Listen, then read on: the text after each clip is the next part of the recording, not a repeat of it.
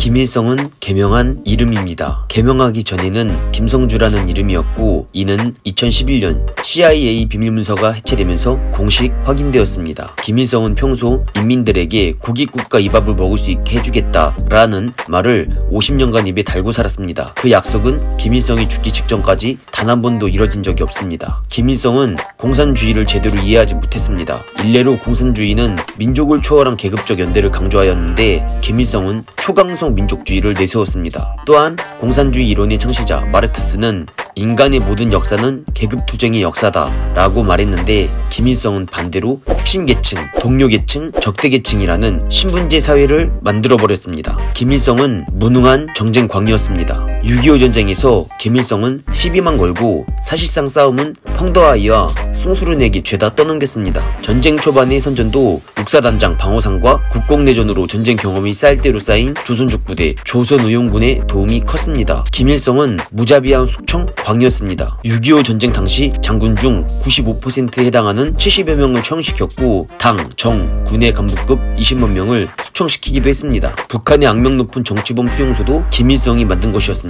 김일성의 키는 177cm로 당시 기준에서는 꽤 장신이었습니다. 살찌기 전에 김일성은 그래도 꽤 준수한 외모였습니다. 김일성은 자신의 외모에 자신이 있었는지 항상 전면에 나서는 것을 좋아했습니다. 어느 정도였냐면 1966년과 1970년을 제외하곤 사망한 날까지 육성으로 신년사를 내보냈습니다. 아들 김정일은 항상 인민복 차림인데 반해 김일성 자신은 정장을 더 선호하기도 했습니다. 김일성은 목대에 아주 큰 훅이 있었으며 살이 꽤나 쪄 있어서 방공 애니메이션에서는 주로 돼지로 묘사되기도 했습니다. 북한에서는 한글 창제를 세종대왕이 아니라 김일성이 창제했다고 가르치기도 합니다. 실제로 유튜버 놀세나라 TV에서는 역사 시간에 세종대왕이 한글을 창조하다가 그만 눈이 멀어버렸고 그래서 우리 위대한 수령 김일성 동지가 한글을 완성했다 라고 배웠다고 합니다. 그래서 탈북한 북한 사람들이 가장 놀라는 것 중 하나가 세종대왕이 한글을 만들었다는 것입니다. 김일성이 태어난 날은 1912년 4월 15일이며 공교롭게도 이날 타이타닉호가 침몰했습니다. 또한 1950년 브라질 월드컵이 개최되던 날 김일성은 6.25 전쟁을 일으키기도 했습니다. 김일성은 6.25 전쟁을 일으키기 위해 스탈린에게 재가를 요청했으나 스탈린은 미국과의 전면전을 우려하여 반대했습니다. 그러나 김일성은 끝까지 포기하지 않고 계속 전쟁을 요구했으며 그 횟수가 무려 49번이나 됐습니다. 북한에서 제작한 드라마나 영화에서 김일성 역할을 한 배우는 평생 김일성 역할만 해야 합니다. 대신 1호 공훈 배우로서 엄청난 대우를 받 봤습니다. 김일성은 책을 읽는 것을 좋아했습니다. 특히 역사책과 문학책을 좋아했으며 심지어는 한국에서 발간된 황석영의 여러 소설을 감명 깊게 읽었다면서 한동안 황석영과 책 내용을 두고 토론까지 했을 정도였습니다. 김일성은 서예 활동을 많이 했습니다. 그래서 북한의 공공 건물에는 김일성의 친필이 있는 간판을 꽤 볼 수 있습니다. 김일성의 친필 간판이 걸려있는 대표적인 건물로는 대동강 여관과 김영직 사범대학 그리고 김책공대 등이 있습니다. 우리나라의 시인 김수영은